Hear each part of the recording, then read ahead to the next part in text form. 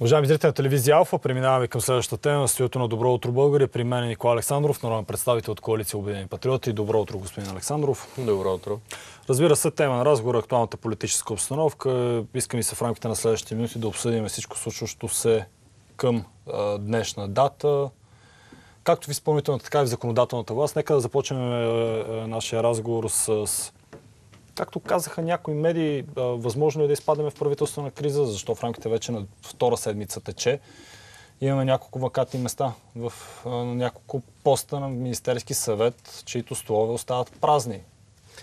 Всъщност точният термин не е вакантни места, защото те, в момента има министри, които са в оставка, си управляват. В Белгия имаше правителство, така ако го наречем правителство на криза, там 18 месеца нямаше правителство. А, в Япония след това 2011 е година, след а, аварията в Фукушима, правителството беше, цялото правителство беше в оставка над 40 дни.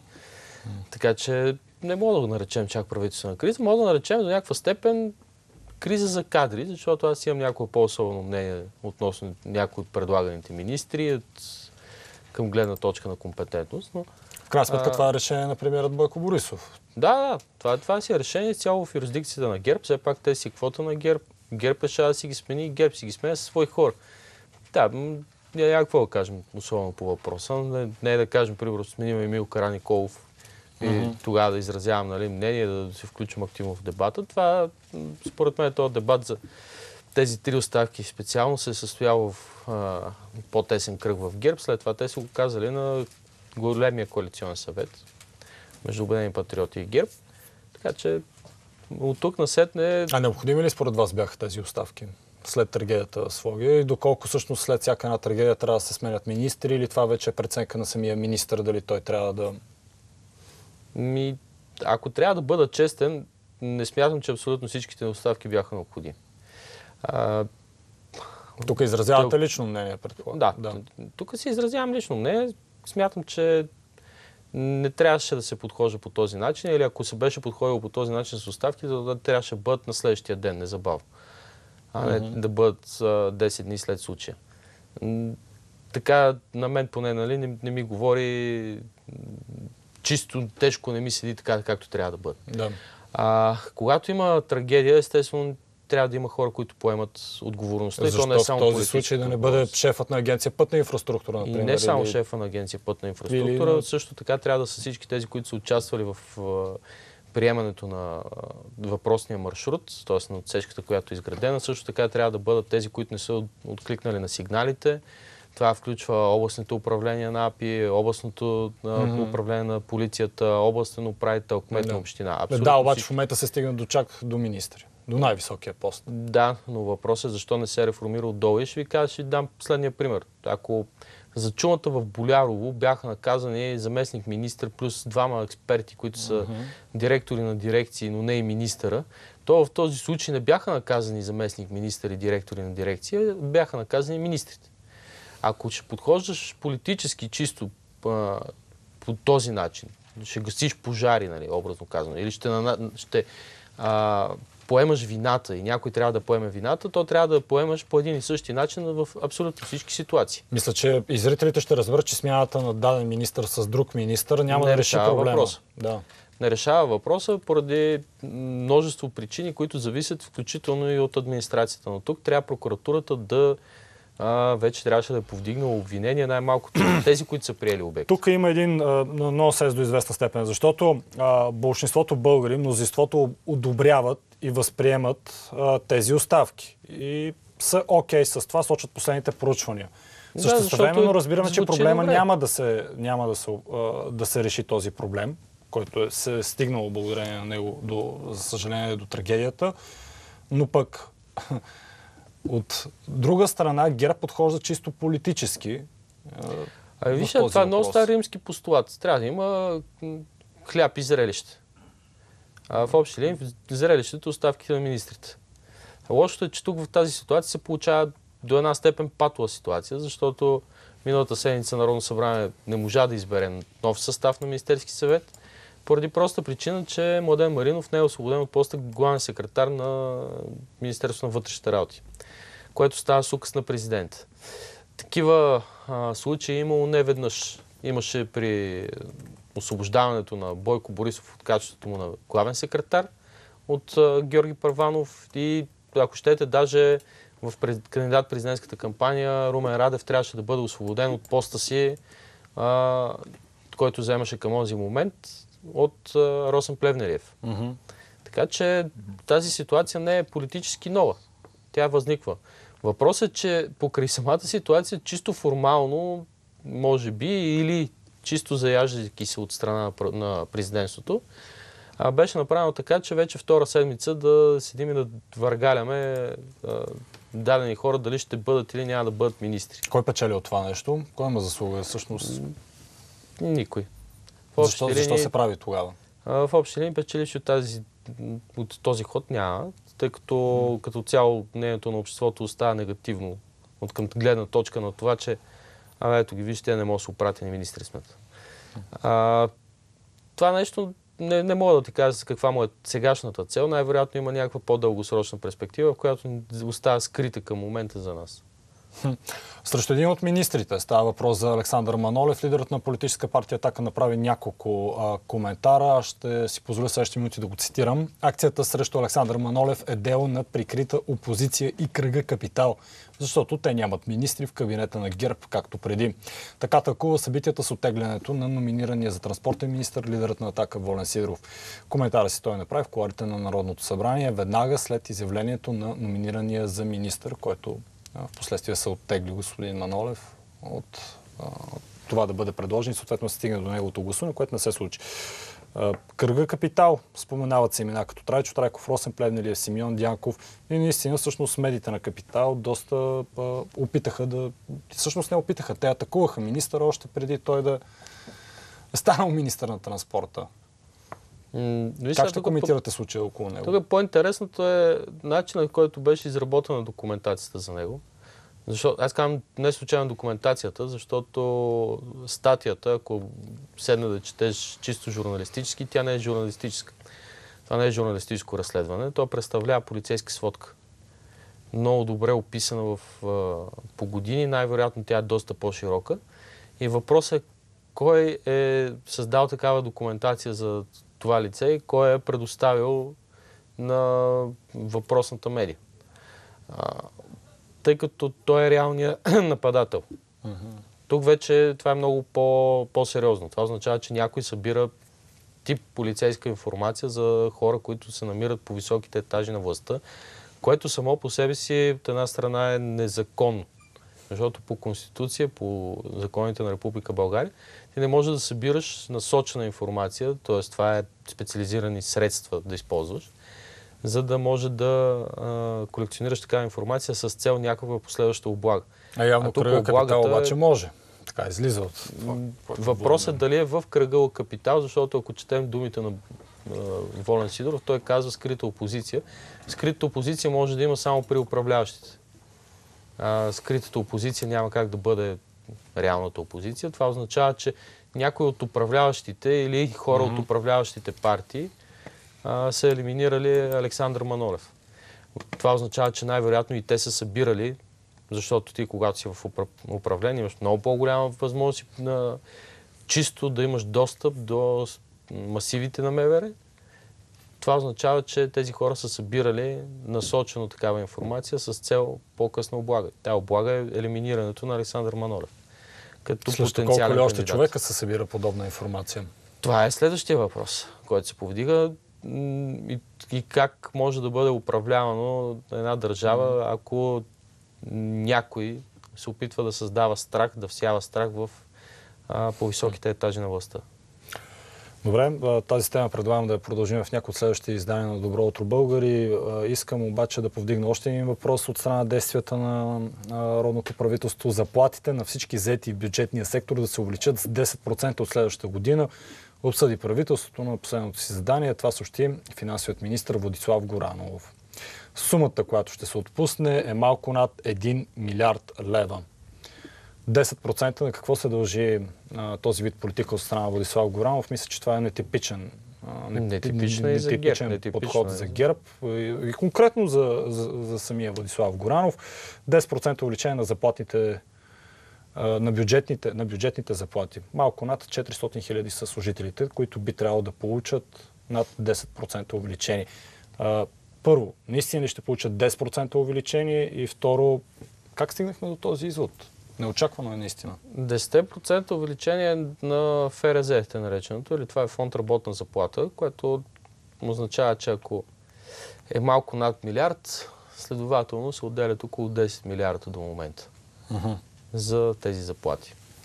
А, фонд работна заплата обаче е до известна степен по-различно от това аз ще получа 10%, защото са казали, че всички ще получим 10%. Да. Това може да не стане. Това става по осмотрение на ръководителите, на преките началници на съответните отдели, на директорите на дирекции, на директорите на звена и така нататък. Поради проста причина, че държавната структура на машината така е направена, че винаги имаш оценки на, на база триместър, на база годишни оценки mm-hmm. и на базата на тези оценки най-вероятно ще се получи самото повишение на заплатите. Може да се окаже, че някой ще получи примерно с три последователни години, в които той има а, оценка, примерно, много добър. Тоест тя е повече, значително над средната оценка, примерно. Той може да получи увеличение 15% другите могат да получат увеличение 5%. 10% е общо за всички бюджети. Това увеличение ще зависи изцяло от шефа на... Това зависи не само от шефа, зависи и от показаните резултати да. на всеки един от работниците. Значи, ние сме свикнали да се сблъскваме с администрация, която казваме, бе, то не, не работи, никой не функционира. Тоест, ние да разбираме правилно, да кажем в дадено държавно учреждение, младши експерт или старши експерт съответно директор дирекция, всичките те няма да получат равно 10% увеличение на своите заплати а ще получат на базата на своето представяне на базата на своята оценка. Кой го оценява? Кой го оценява? Това оценява. Оценяването, на... оценяването е вътрешно, накрая минава с подпис на преки ръководител. Това може да доведе до конфликти. Това може да доведе до конфликти, но, но, но трябва да доведе и до нещо друго. Трябва да накара администрацията да почне да функционира далеч по-добре, за да може да повиши своите оценки. Следователно при тези които вече станаха регулярни. Тоест ние вече имаме второ такова увеличение. Това е положителният вариант, който разглеждаме в момента. Да. Имаме... В смисъл ние да стимулираме, за да могат те да работят. Именно, защото тези хора работят в крайна сметка с а, всички български граждани и тези 400 хиляди трябва да правят така, че българските граждани, когато отидат при тях, да се чувстват удовлетворени от това, което са отишли, да, да могат да си свършат цялата работа, а не да отиде някой, някой така, а, не, не, Добре, Утре, на, на какво се дължи? Бяхте ли за нас всъщност, когато чухте това предложение от Владислав Горанов? Не, не, тези неща сме си говорили по време на управленската програма. Говорихме, че доходите са крайно недостатъчни в България. Трябва да се направи така, че те да се увеличават. И те вече смятам, че това нещо го показва. Това казвам, за втори път се случва такова а, увеличение. Минал, т.е. тази година да. имаше такова увеличение. А, имаме вече разбирателство, че ще увеличиме двойно заплатите на учителите. Също, също въжи нали, за драстично увеличение в сектор сигурност. Сега имаме върху абсолютно цялата администрация нали, 10%. Въпросът е, че това нещо трябва да става и по заслуги. Нали, не, не, не може да става на базата на това, аз ще седа, чакам а, вълната да ме залее и само да му облива, пък нищо няма право. така, увеличението на пенсиите през юли до година ще бъде с 5,7%. Това заяви ефира на BTV социалният министр Бисер Петков. Максималните пенсии, ограничени до тавана, също ще бъдат с нов размер. От 1 юли 2019 година пенсиите ще се вдигнат с 5,7%. И все пак имаме още много да гониме в цифри и в статистика, докато се стигне средното ниво на Европейския съюз. Няма как да не знаем въпроса си. 300 лева пенсия все още ли се обсъжда в коалицията, в голямата Продължава коалиция? се обсъжда. Какви са намеренията? Това е за, за минималните да. прагове. А, обсъжда се също така и варианта за индексация на пенсиите. Това, което ние сме го mm-hmm. говорили, е, се търсят възможности. 5,7% е двоен ръст в сравнение с а, това, което сме имали пред преходните години. По 2,4, по 2,7. Нали, доста по-значителни ръстове. Отбелязваме за тази година и за следващата година. А, в процентно съотношение, естествено, м- това е недостатъчно. Достатъчно би било, ако може да изпълним, да, да имаме доходи, които са над а, прага за бедност. Това вече би било значително по, по-различно като състояние. Тоест, ръстът на работната заплата води съответно и до ръст в пенсиите, защото това е закономерна връзка. Минималната пенсия ще скочи с 12 лева през 2019 година в средата. Така, само още няколко цифри искам да кажа. Максималния прак, максималната пенсия към по-настоящем е 910 лева. От юли месец до година става 1040 лева. Тук говоря отново, казвам, максималната пенсия. Така, от БСП се чуха, глас, се чуха гласове. Каз, цитирам и говоря за БСП, защото в крайна сметка те се живеят като опозиция в този момент. Каза следното, че правителството в момента раздава много пари, едва ли не като за последно. Идват предстоящи избори. Как бихте Идват. отговорили на... Идват евроизбори, да. Нормално е. всяка, година, всяка година има, парламентарни избори. Говорят, има избори. Е, тази година до края даже Добре, ще имаме избори за... Много ли пари харчи правителството тази есен? Силно започва есения политически сезон от страна на финансовия министр. След като се дават пари за увеличение на заплатите, увеличение на доходите, не мога да го наречем, че правителството дава много пари. Даже мога да кажем, че дава малко пари, трябва да почнем да го критикуваме. Аз така си мисля. БСП имат абсолютната свобода да имат лошо мнение. Те никога не са имали добро мнение, включително помежду си се така се държат по същия начин. Явно там на високите етажи в тяхното ръководство на партията го възприемат като модел на управление. А, практически. Сега, те имат и една инициатива да обикалят и страната, да се събират, да колекционират мнения от структурите. Това е много чудесно и прекрасно. Въпросът е, че накрая лъжат хората. Защото съдът им обясняват едни неща, които са практически нереализуеми в а, актуалната среда, чисто житейска, в която живеем в момента. А, естествено, те го правят на базата да събират електорат, защото се надяват на това, че ще дойдат нови избори и те, видиш ли, ще съберат достатъчно електорат, за да могат да управляват вече. Това е нали, мечтата на Корнелия Нинова, тя се вие министър-председател. Сега, или си казвам истините, или си ги премълчаваме, а по-добре си ги казвам. Не си да седим за позициите. От тук насетне а, техните коментари миналата година, критиката беше, че бюджетът бил много социален. Сега, сега бюджетът стана много разходен за по- повишение на доходите. А, аз не мога, не мога да разбера пак тия хора това, това, това го говориха и преди. Това ние сме го говорили, хубаво, ние сме влезнали, много по-малка група сме от ГЕРБ.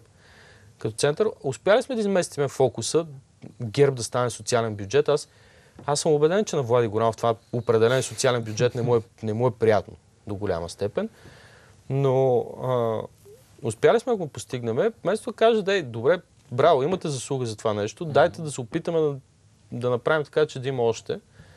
М, те се намерят нали, да критикуват, но това е, това е Да. много, много стар такъв принцип, че на всяко едно хубаво нещо се намери на някой дет мана да намира. Във вчерашния изминал ден премиерът ни заяви, имаме наистина много по-високи а, резултати в събираемостта, повече пари влизат в държавата. На какво според вас се дължи това?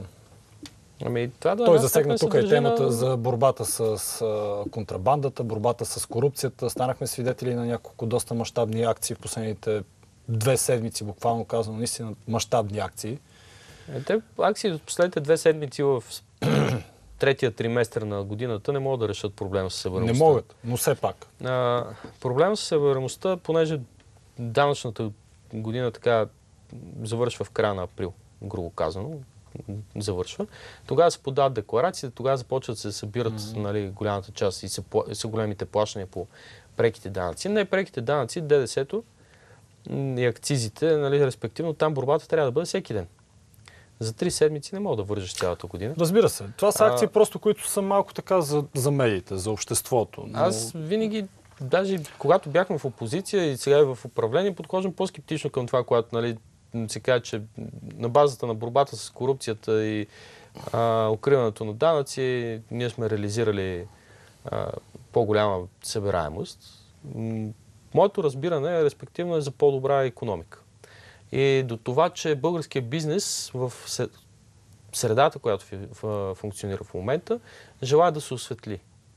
На базата на това осветление той спира до известна степен да укрива а, обороти, което означава укриване на ДДС, укриване на акциз. А, започва да плаща по-високи осигуровки, откъдето идва и по-високата събираемост съответно на а, средствата в социалната система и е стимулиран включително да дава и по-високи възнаграждения, защото когато държавният апарат увеличава своите възнаграждения, за да си конкурента на пазара на труда, за да искаш по-добрите кадри, ти също трябва да вдигаш възнагражденията. Това е моето разбиране.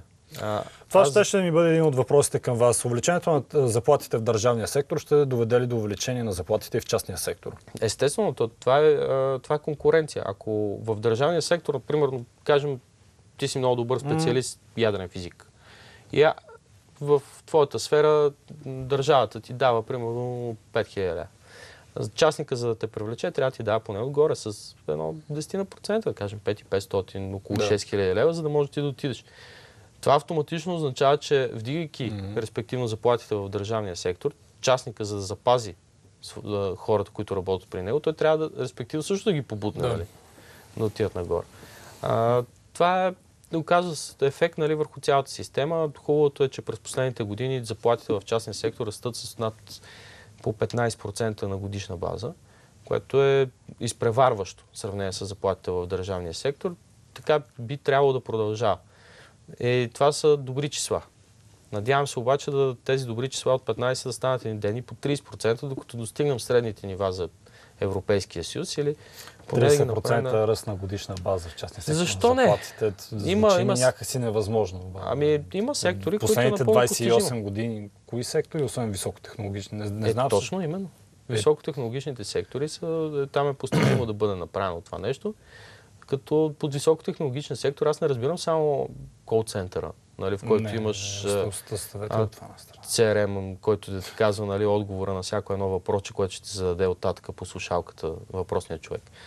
А, да разбирам сектори, в които имаш действително повече а, умствен труд, в който трябва да вложиш.